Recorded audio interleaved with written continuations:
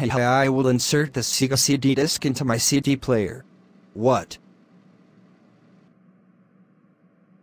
Please remove this disk now. It will damage your speakers.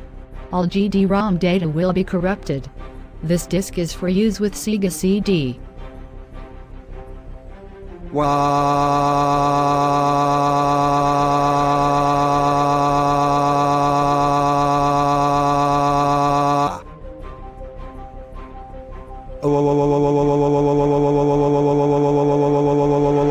Hayu Caillou, how dare insert a Sega CD disc into our family CD player that isn't your grounded grounded grounded grounded grounded grounded for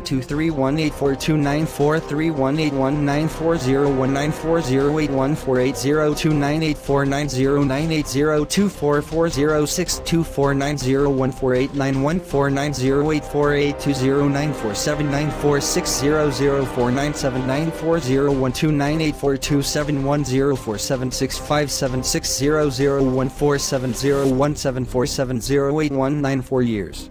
You will go to your room until the CD player gets repaired. Wow.